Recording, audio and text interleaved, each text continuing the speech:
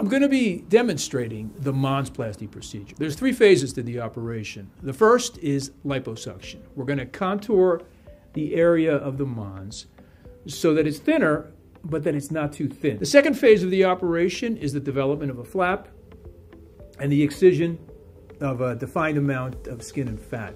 And the third component is a tiered or a sequential lifting of the flap so that it doesn't collapse under gravity. So I'm gonna give you a step-by-step -step surgical demonstration of how I manage each step to a precise endpoint to achieve a result that uh, is not only aesthetic, but uh, totally reproducible for someone who has experience in aesthetic surgery. This is an operation that is suitable for both men and women.